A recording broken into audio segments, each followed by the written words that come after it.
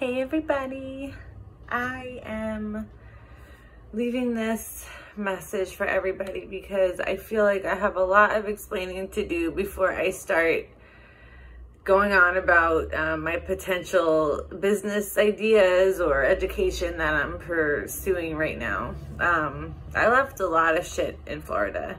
Um, you know, I went through a divorce that completely left me in survival mode, like a fish out of water. Um, and left a lot of shame back there, left a lot of, you know, survival mode um, moves that I made that were not okay. And I ended up just having to go. So I crossed the country. Um, I spent, you know, a few years just going to a few different states and I landed in New York. So here I am and I still very much um, do kids yoga. I still very much want to do that, but I am also going through a lot of healing, um, a lot of self-forgiveness.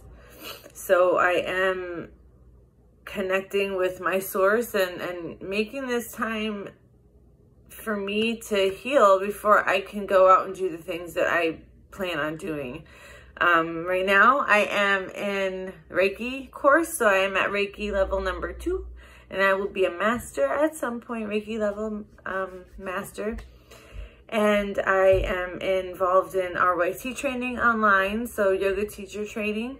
I will also be doing cognitive behavior therapy, and I'm working with my tarot card. So all of that put together, I feel like I have a strong base to begin a online community or at least start something like that um, where I can help heal others like I've been healing myself. We can help heal each other. That's what we are here for. We are connected in that way to do that for one another. And, um, you know, I'm really looking forward to how it's going to work. I don't know just yet, but I have a big vision and, and I hope that you guys follow along with me and heal with me. Um, I really would like to devote a lot of my practices with yoga um, and Reiki healing on substance abuse. Um, I have had substance abuse issues for my whole life. Um, you know, a big reason for my divorce in Florida was because I got clean and I really felt more enlightened than I ever had in years. And I was realizing that I don't want to feel that way anymore. The reason why I, I'm, I'm taking complete accountability for what I've done. I wasn't able to handle how I felt. I wasn't able to handle feeling suppressed, feeling unworthy, feeling like I wasn't good enough, feeling like I was always second thought.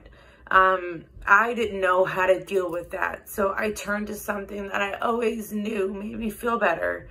And, you know, I finally broke that cycle, felt more enlightened than ever, realized I didn't want to feel the way that I was feeling that forced me to feel like I needed something else. And so I was out and, you know, in Florida, I did a bunch of shit that I'm not proud of. I whoever's been following me here has definitely seen it go down. And you know I feel ashamed. But that's all in my forgiveness of myself and all in that healing work that I've been doing so much of you know. I feel shame that in Florida I was really trying to teach that but not practicing it.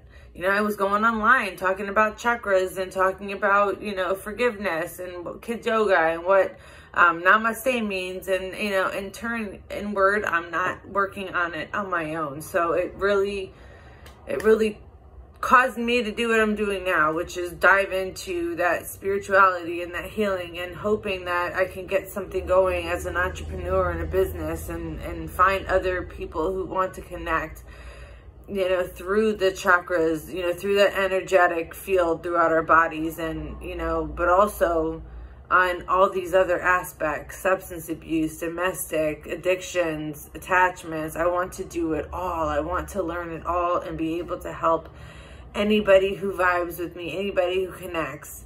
So that is my plan. And I really thank you again for, for still being around in my life um, to even be watching this video.